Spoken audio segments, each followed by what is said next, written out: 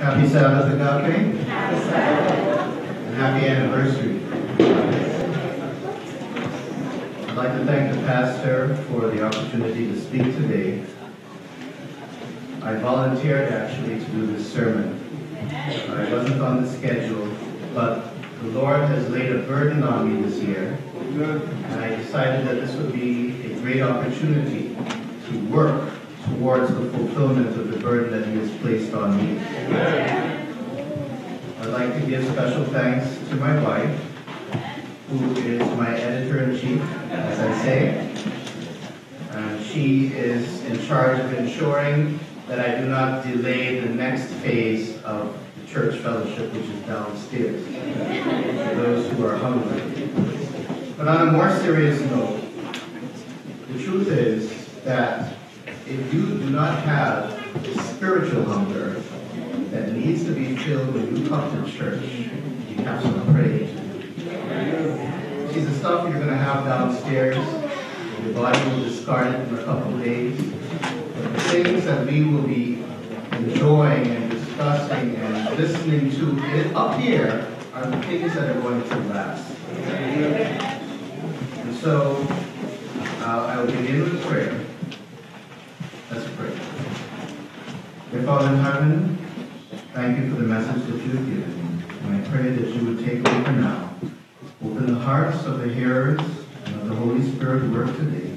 Let nobody's attention be elsewhere, but let it be stayed on you as I give your message to Christ. Today is a high day. It's not an ordinary Sabbath day. It's an anniversary.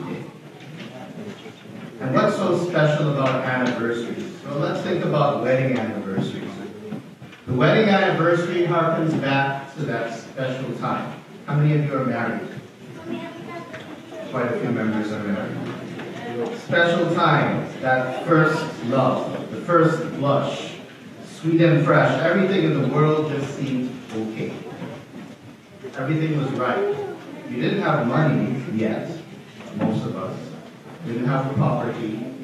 But it didn't matter because you were in love. You found that person that you could bond with for life.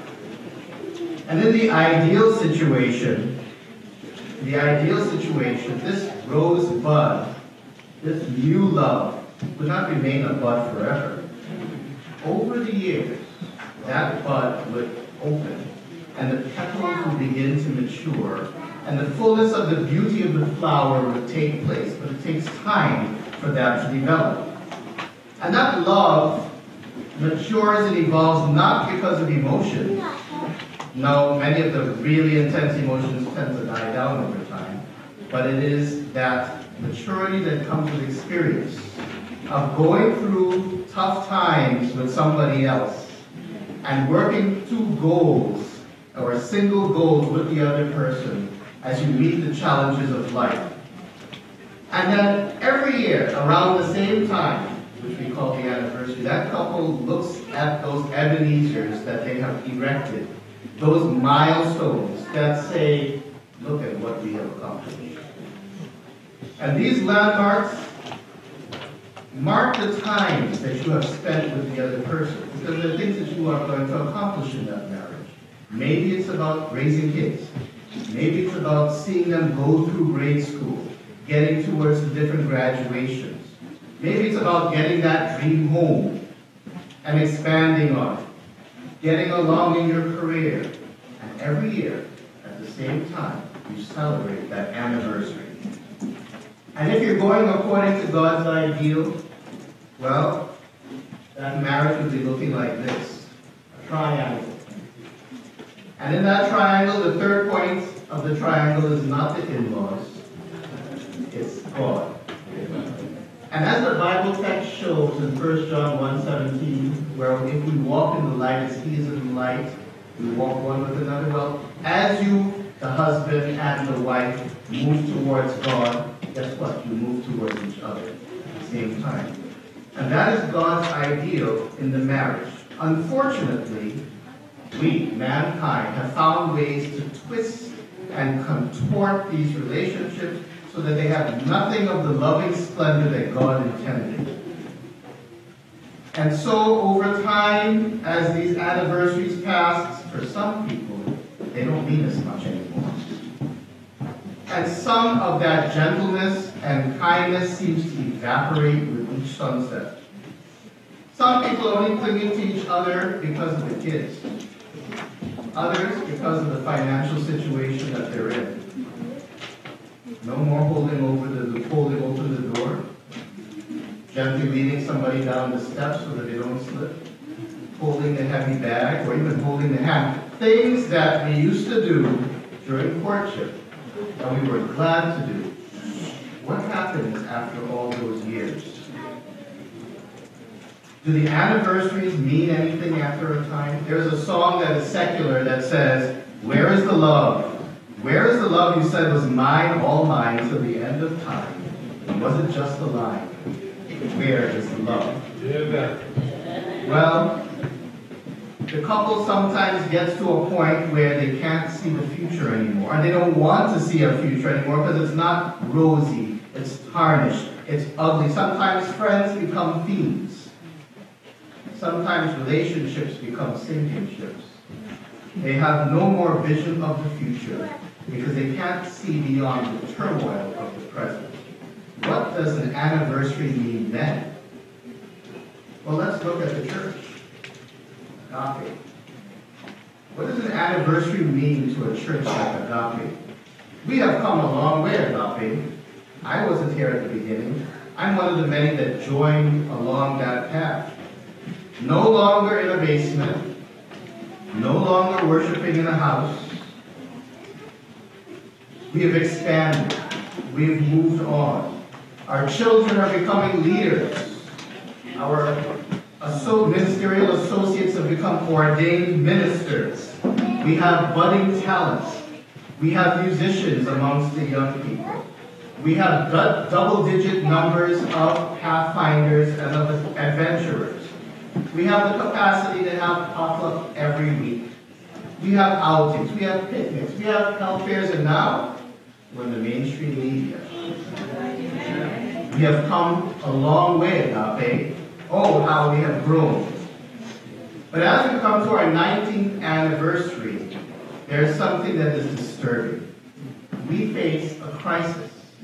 A crisis of potential stagnation which some of you might have heard over the last two to three weeks. I want to start this program for the children, but we have pathfinder drills we want to do. But we want to have a week of prayer every week.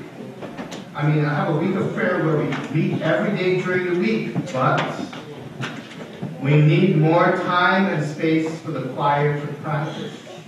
But for us to flourish agape, for us to meet the next anniversary and really show that we have grown, there is something that we need. For us to change and evolve in our personal lives as well as in our church life, there is something special that we need.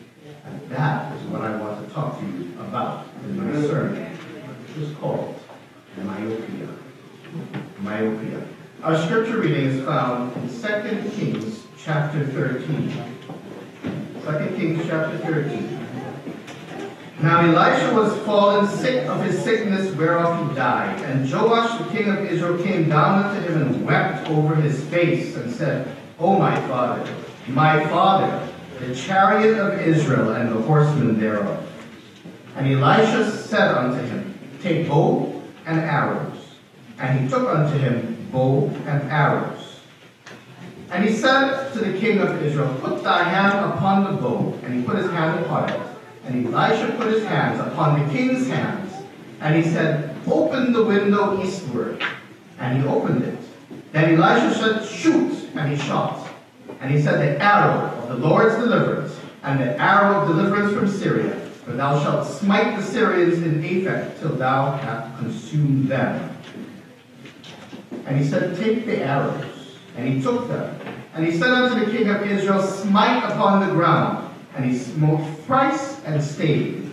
And the man of God was wroth with him and said, Thou shouldst have smitten five or six times. Then hast thou smitten Syria till thou hast consumed it, whereas now thou shalt smite Syria, but thrice. Myopia. I was about 17 years old when it first happened to me. I was observing something from a distance when somebody drew my attention and said, Larry, why are you squinting? Squinting? I didn't know I was squinting. I didn't know why I was squinting. But pretty soon my mother noticed that I was squinting too. And she said, you know what, I'm going to take you to the eye doctor. And so off to the doctor we went. My mother told the doctor the story, and he took me into a room, told me, put one hand over your eyes and read these letters. And I thought, well, that's easy enough.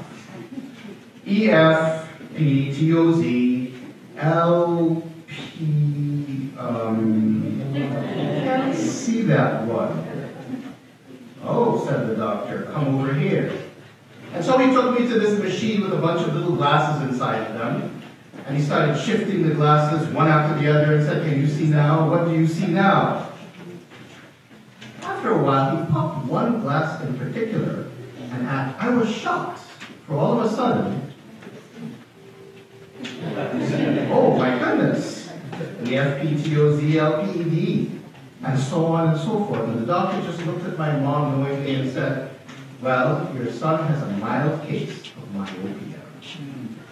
I will give you a prescription for his glasses. So we went off to the glasses store and bought glasses, and what glasses they were, big and square, covering half of my face, and in retrospect, it was the main reason I couldn't get a girlfriend in college. myopia. But I'm thinking to myself, myopia, what in the world is that? Well, being a curious youngster, loving science, I decided to look it up. Myopia, better known as short-sightedness, a condition where the eyeball is elongated cornea and the lens focus the image in front of the retina so that what you're looking at from a distance appears blurred. To correct the condition of myopia, you have to understand how the eye works. And so, for you to see something, light from whatever you're looking at has to go through the eye, and then the cornea, which is the front of the eye, and the lens, which is right behind it, bends the light so that it forms an image on the back of your eye. And then your brain interprets that image, and that's how you see. Well, when you have myopia, the eyeball is elongated, it's long, and so the image cannot be bent to fit on the back of your eye. It actually forms in front of the back of your eye, and so what you see looks blurred. In order to correct myopia, you have to wear special corrective lenses. We call them glasses. And what the glasses do is to bend the light out a little bit so that when it's bent by your eyes, it falls in the right place. Myopia. The problem with myopia is that you can see clearly the things that are right in front of you. But as they move out to a distance, they become blurred. They become unclear. You become uncertain about what you're seeing, and it can become a real problem. In a physical sense, myopia can be actually very dangerous. Imagine that you're driving down the road on your country day, the sun is out, it's 75 degrees, and you're enjoying your road, your drive. And you're coming around the corner and all of a sudden you see this. Well, the sign, I, I'm not quite sure what that sign is. Oh, I can't tell. And you continue pressing the accelerator when all of a sudden you run into this. You see, myopia, if uncorrected, can present a catastrophe. Once while I was in training as a resident, I got into a conversation with a young nutritionist at the hospital. She was single and considered by many to be attractive. And so I, after I finished my duties one day, I got into this conversation with her, and she must have thought that maybe I was flirting with her. And in the course of the conversation, all of a sudden she shot a question to me, so what is your five-year plan? What? My, my five-year plan? I thought to myself, and I started to stutter and fumble with my words. I was just simply outgunned here. In my busy resident life, I was barely thinking about the next weekend. And here I'm talking to this woman who's asking me, what is my five-year plan? A couple of years later, I heard she got married. And I couldn't help but wonder when I heard that, what that new husband had answered when she asked him the question. well, I soon found out that she wasn't uncommon. In fact, the women of her age group and our age group were thinking all the same way. And indeed, it was an embarrassing situation for me, but it was a learning experience. You see, she was far-sighted. I was myopic. I was short-sighted. I had myopia. She was thinking far ahead. And she was accomplishing her goals because she saw far ahead and she envisioned how she was going to get there. Well, if myopia ended in the social sphere, that would be bad enough. But unfortunately, myopia extends even into spirituality and into Christendom. You see, the Bible says in Proverbs chapter 29, verse 18, that where there is no vision, the people perish. God has a vision for every single one of us, a grand design for our lives. But the problem is that we can't see beyond our own vision to see what God has in plan for us. We cannot pierce that darkness, that cloud, that shroud that we cover ourselves with in our short sightedness. God has a vision for us that transcends everything that is physical, but we are stuck in the physical. There is no wonder that the Apostle Paul, when he was giving his ranking of spiritual gifts in Ephesians chapter 4, verse 11, said that the number one gift you can have is apostle. Well, that's why we're here. We're here to evangelize the world so that they can be ready for Jesus when Jesus comes. But what's the second gift? Prophecy prophecy the gift of far-sightedness. There's no wonder then that for a church to grow, after you got the apostles and people are starting to come in, the very next thing you need are far-sighted people for the church to grow. Isn't that amazing? Without a vision, the people perish. Well, many of us have come to this country from other places. And we had wonderful and great visions of what we wanted to do and what we wanted to accomplish. In fact, there was a comedian who made a joke about it and said, well, you know, when I was in Mexico, I used to dream about coming to the United States because I was told that its roads were made of gold. But when I got here, I found out that the roads weren't made of gold. In fact, they were full of potholes. And not only were they full of potholes, but they expected me to fix them. And so we come with the American dream and for the American dream. And we have a hard time here in the country. And then the American dream turns into a nightmare, and our vision goes no further than our next paycheck. And we begin to suffer from myopia. And we start seeing the physical when God really wants us to see the supernatural. And we see the temporal when God really wants us to see the eternal. And we see the ordinary when God wants us to see the extraordinary. And so God tries to teach us his divine plan and give us his vision. But we tend to become like Abraham. You see, God told Abraham, go to a land that I'm going to show you.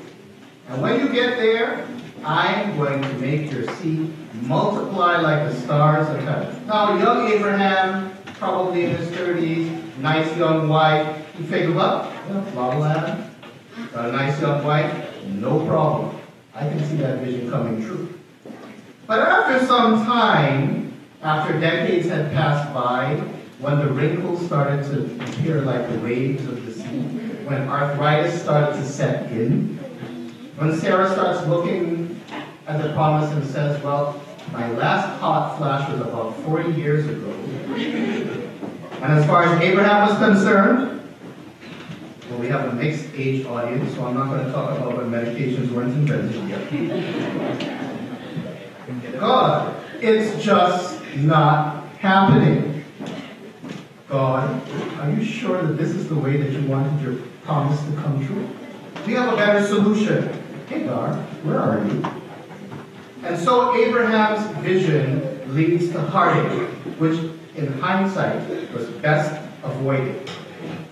But God refused to leave Abraham with myopia. God is not going to allow the Christian to stay in their myopic state. God wants to cure you of your myopia. And so, Abraham had to go and have an eye exam. One day, after God had fulfilled that promise, and he got that promise and cherished son, God said to Abraham, Take that son, thy only son. You see, Abraham was so myopic that sometimes God was afraid he would be looking no further than Ishmael. Take thy son, thy only son, Isaac, just to be sure, whom thou lovest, and get to the land of Moriah and offer him there for a burnt offering upon one of the mountains which I will tell thee of. And so, he packs up his stuff in obedience, takes Isaac, and they head up to the mountain. Isaac was not a dunce. In Trinidad, we say a trippity. He wasn't stupid. They're walking along that mountain trail, and he's going through his mental checklist, his itinerary. It's like camping supplies, check. Wood, check. Knife, check. Rope to tie up, check. Rocks in the distance for an altar, check. Sheep, sheep, sheep. Dad, where is the sheep? Time for the eye test. And Abraham said to his son, My son, God will provide himself a lamb for a burnt offering. Myopia cured. And that is where God wants each and every one of us to get to. God has a cure for our myopia. Just as we have a physical cure for myopia we call glasses, God has a cure for our spiritual myopia, and he calls it faith. Hebrews 1.11 says, Now faith is the substance of things hoped for, but the evidence of things not seen. You can't see it. You can't feel it. You can't taste it. It is somewhere out there. That is what faith is. Spiritual glasses. And the people who overcame and became giants in the, in the Old Testament and in the New Testament, people who demonstrated this faith. Noah, being warned of God of things not yet seen, moved with fear, preparing an ark to the saving of his house, by which he condemned the world and became heir of the righteousness, which is by faith. Things not as yet seen. In fact, in his day, all the physicists and the geologists and the environmentalists and the meteorologists all came to Noah and said, Rain? What's that? Rain? Well, while they were asking about rain, they all died in the rain.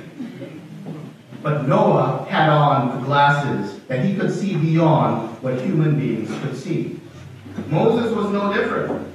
The Bible says he forsook Egypt, not fearing the wrath of the king, for he enjoyed as seeing him who is invisible. What does invisible mean? Something you can't see. So how was he seeing something that was invisible? He had special glasses. And this behavior marks all the people in the Bible who are able to triumph. In fact, Hebrews says that these, all these people died in faith, not having received the promises, but having seen them afar off. It is a lack of faith that allows us to have spiritual myopia. But God says in His Word that those people who are going to be His people, who He's going to take back with Him to heaven, are going to have one characteristic. Said, For therein is righteousness of God revealed from faith to faith, as it is written, the just shall live by faith. Well, even God, even Christ's disciples suffered from myopia. In fact, there was a time when they were walking around and the Lord had, in one of his sort of cryptic messages, said to them, Beware of the leaven of the Pharisees. They said, What? Beware of the leaven of the Pharisees? What is the Lord talking about? We didn't bring enough bread. That must be the problem. And the Lord gets annoyed with them because he had already fed 5,000 people. And he had already fed 4,000 people with a couple of loaves and fishes. And they're thinking about, we didn't bring enough bread. They were short sighted. They could only see what was in their hands. They couldn't see beyond, in spite of all the things that God had done for them. So he decided to teach them a lesson. And so they came to this place where he was going to teach them a lesson. He said to them, Why reason ye because ye have no bread? Perceive ye not yet, what is the perceive? To see. Perceive ye not yet, neither understand? Have ye a heart, have ye your heart yet hardened? Having eyes, see ye not? Short-sighted, myopic. Well, he said, when I break five loaves among 5,000, how many baskets full of fragments took he up? And he said, unto 12. In other words, God didn't just meet the need, he goes beyond the need. And when the seven among 4,000, how many baskets full of fragments took he up? And he said, seven. And he said unto how is it that you do not understand? Agapeans. How is it that we don't understand? How many times has God fed you, taken care of you, fulfilled your needs in all of these years as we've come up to the 19 years that you've been here or been in this country? How is it that when the next issue comes up, we somehow can't seem to remember? Well, they came to a place called Bethesda. And there was there a blind man. And the blind man had a problem. He had physical blindness. But he wanted to see. And so he came to the master ophthalmologist. And he asked Jesus, I want to see. And Jesus took mud and put it on the man's eyes. And he said, What do you see? And he said, I see men like trees walking. And then the Lord put some more on his eyes, and all of a sudden he said, Well, what can you see now? He said, I can see clearly. Did Jesus fail? What was the problem here? He could, he could heal the man according as his measure of faith was exhibited. And because he didn't exhibit total faith, he could only be healed but so much. And that was the problem that the disciples were having. They could only exhibit but so much faith. But they couldn't see beyond the difficulties. They suffered from myopia. Well, unfortunately, many of us who suffer from myopia bring it into the church. And we infect other people with it. And we all become short-sighted and start tripping over each other. It happened thousands of years ago in the church. The church needed to expand. It needed to get out of the rental property.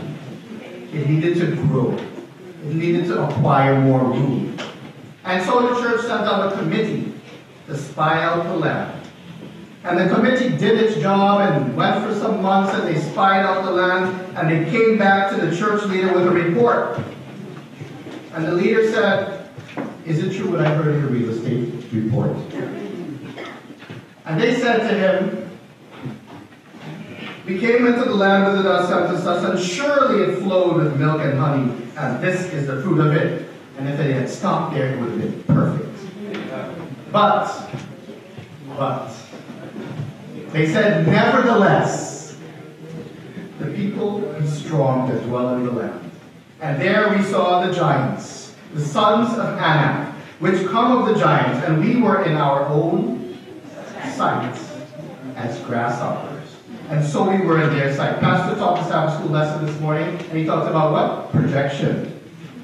Putting on to other people what's going on in you. He said, they said, in our sight, we were like grasshoppers, and we were like that in their sight too. Projection. Myopia. But not everybody suffers from myopia. Some people have hypermetropia. Mouthful hypermetropia. Caleb said, and Caleb stilled the people before Moses and said, Let us go up at once and possess it, for we are well able to overcome it. Far-sighted vision. Don't look at the difficulties in front of you. See beyond the difficulties. See what God can accomplish in you and through you if you put your hands in His. Hypermetropia believes that the Lord's hand is not shortened, that it cannot save, neither that his ear is heavy, that it cannot hear. Hypermetropia believes that I can do all things through Christ that strengthens me. The Bible teaches that in the last days, the church of the last days, Laodicea, suffers from myopia. He says, because you say I'm rich, increased in goods, have need of nothing. Knowest not that thou art wretched and miserable and poor and what? Blind and naked. And what is God's treatment? He says to go and anoint your eyes with eye salve that you may see.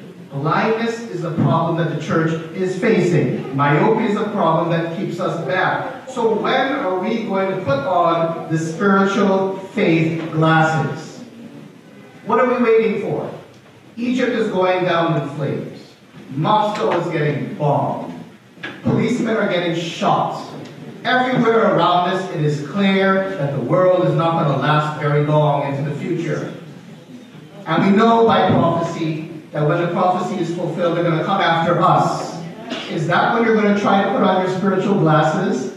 When somebody comes knocking on your door in a blue uniform with handcuffs on the side? Is that when you're going to try to put on the faith glasses?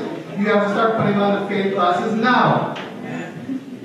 The Bible says in Luke chapter 21, there shall be signs in the sun and in the moon and in the stars, and upon the earth distress of nations and perplexity, the sea and the waves roaring, men's hearts failing them for fear, because what? They're looking on what? The things that are coming on the earth. They're seeing what's going on around them, in their neighborhoods, in their schools, in their workplace, and they're looking and they're scared.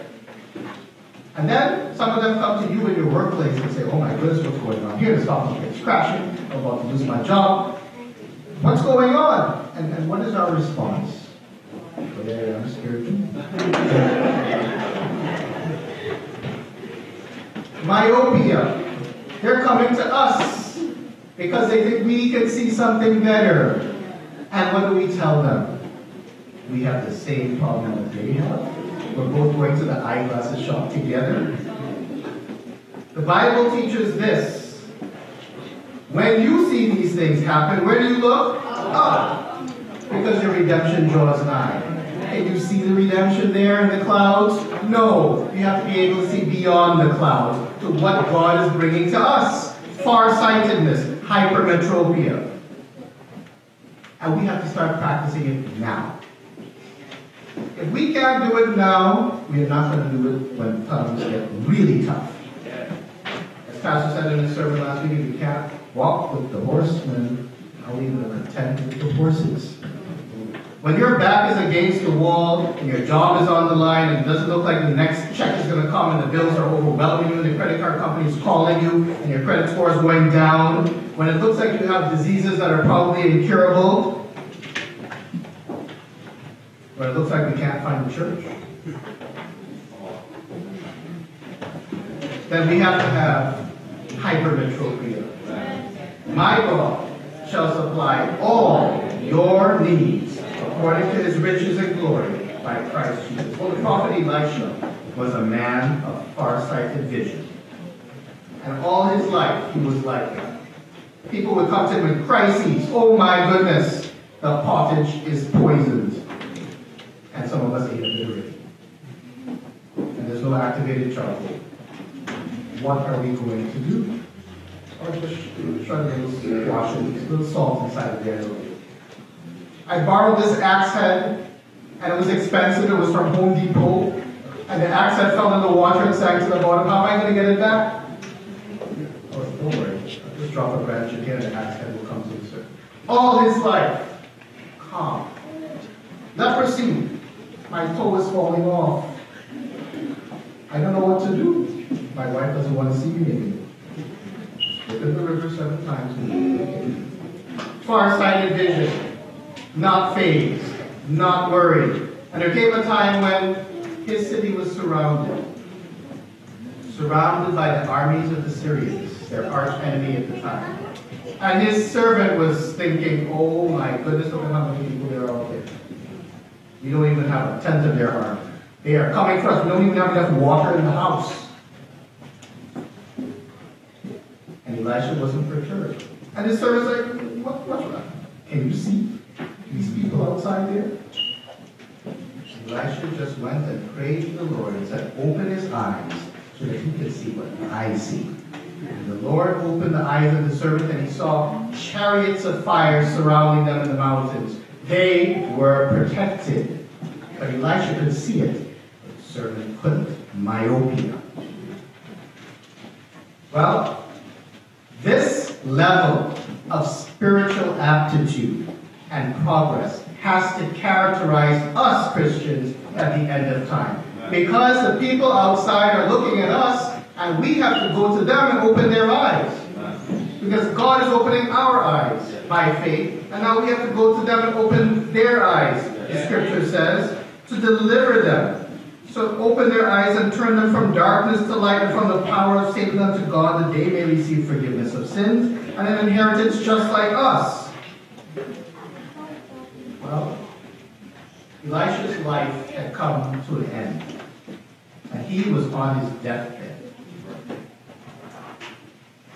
Time had run out on a great and mighty prophet.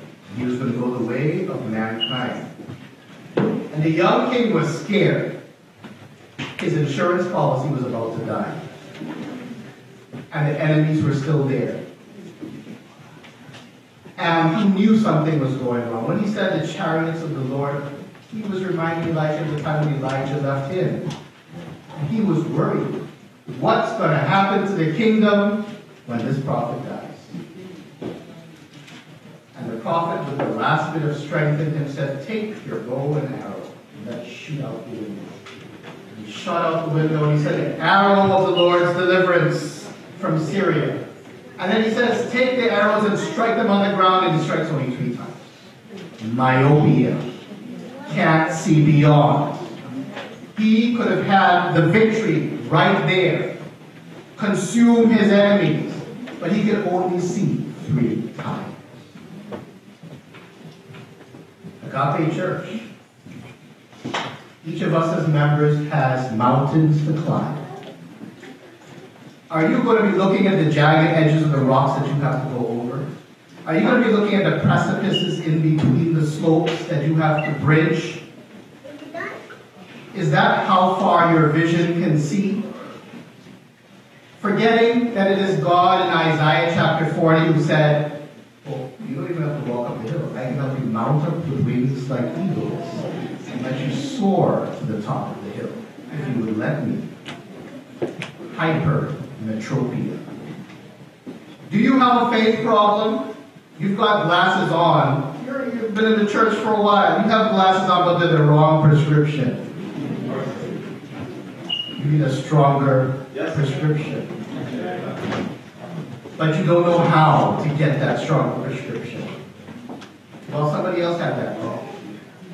Jesus came down from the Mount of Transfiguration, and down at the bottom, he found his disciples trying to get this demon out of this little child, and the father is frantic because the disciples can't do it, and the disciples are frantic because they've got everybody else to come out, but now they can't tackle this problem. And Jesus says, Do you want your child to be healed? Do you believe I can do it? Yes, Lord, I believe you can do it, but I'm not 100% sure. He said, I believe, help thou my unbelief. If you're lacking the glasses, God will give you the glasses that you need. So, as a church, filled with people, some of whom have myopia, are we going to overcome as a church and have our vision healed? Or are we going to be like the Israelites of old who thought that they were grasshoppers and so as a result died like grasshoppers in the desert? I believe by God's grace that this is going to be the last anniversary we're going to spend in this church. Amen. I believe by God's grace that we will celebrate a wonderful and grand 20th anniversary with all the bells and whistles in our new church. Amen. But that will only happen if we get out of the grasshopper syndrome and see ourselves as God sees us and see our opportunities as He wants us to see them and become far-sighted in the process. You see, where the parents failed, the children didn't stumble. We as parents don't want our time to pass. And we as kids have to do it. Well, it happened in the past church too. You see, they got to it. They learned the lessons that their parents failed to do. And God said, We will conquer this land, but there was a river in front of them. And there was no boat to carry a thousand people. There was no ferry of the Essequibo. They had to go across that river. And there was no evidence there of what was hoped for to allow them to cross that river. And God didn't let the river open when they reached to that last sand grain before stepping in. They had to walk into the water before the miracle happened. God is not going to just lay our blessings in our hands. We have to step into the water. They did it because they walk by faith and not by sight. By faith and not by sight. They don't see the pink slip. They don't see the low bank account. They don't see the interest rate going up on the credit. They don't see the past failures. They don't see the old broken relationships. They don't see that I can't find a partner and I'm getting older. They don't see I can't have kids after trying. They don't see that this disease is incurable and would finish me off. They don't walk by sight, they walk by faith. The just shall live by faith.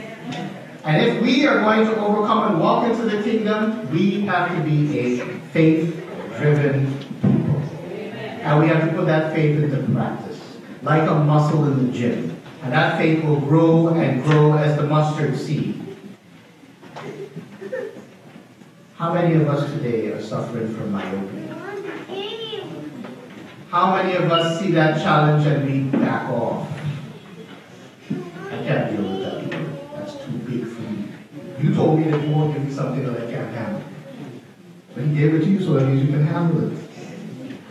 How many of us are struggling to see beyond what is in front of our, side, our eyes?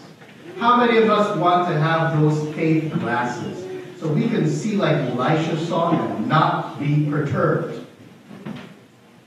If you want to have faith vision, I'm not talking about cable vision now. I'm talking about faith vision.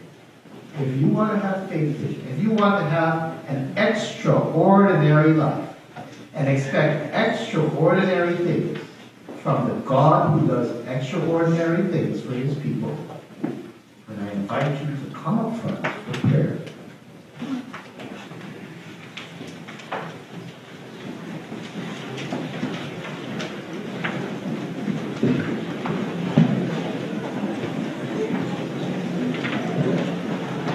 At the end of the prayer, we're going to take a text from the Bible and we're going to claim it by faith.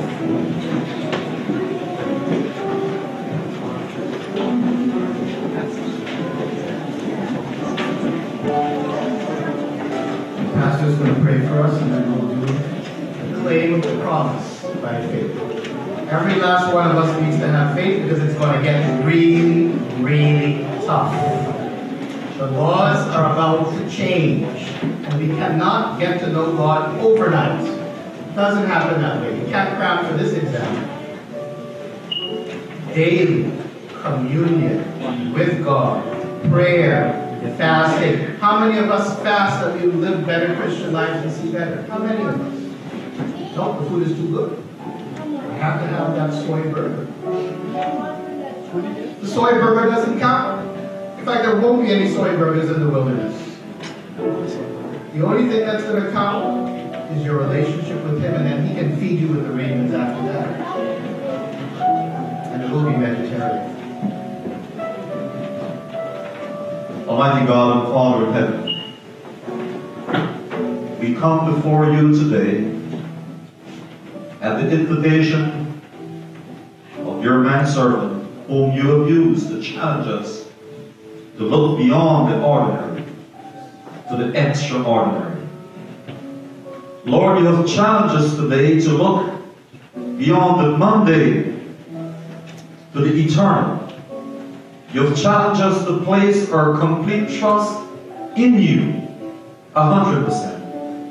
But just like the disciples in the New Testament, we have a measure of unbelief deep down inside of us that cause us not to trust you completely. We still have our reserves.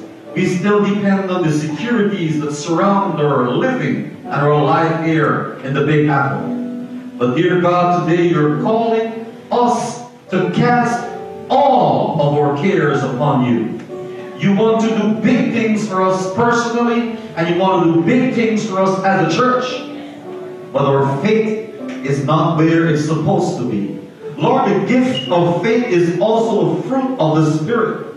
And it's important for us to be people of faith because you said the just shall live by faith. And without faith, it is impossible to please God. So today, dear God, we cry out to you and we say, Come by, Lord. Come by us. Come and fill us with your Holy Spirit. Come and fill us with your vision. Take the eye, the scales from off our eyes, and let us see clearly the way you want us to see. Give us heavenly vision. Give us eyes of faith and not eyes of fear. I believe, dear God, as the preacher said, that next anniversary we will be worshiping in our own church.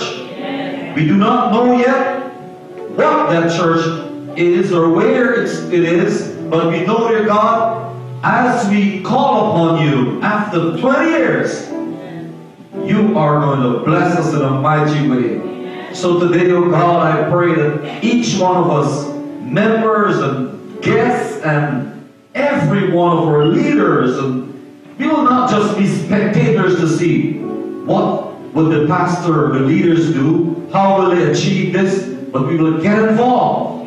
We will participate. We will put our bits and pieces and our all into it and see this vision come true. We thank you, Lord, in advance. We praise your holy name. We give you glory and honor.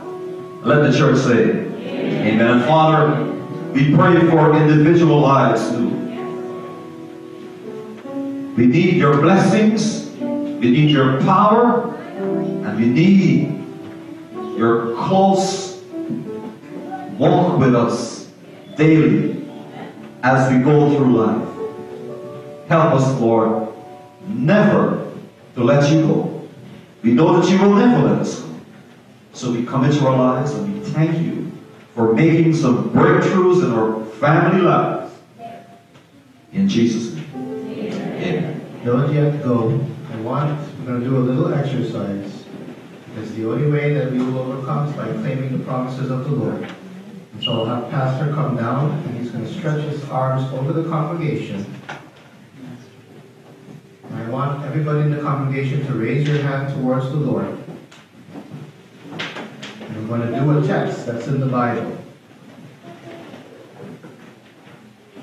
The prayer of the man who was blind. You'll read the congregation part. What wilt thou that I shall do unto thee? Lord. Jesus said, Receive thy sight, thy faith hath healed thee.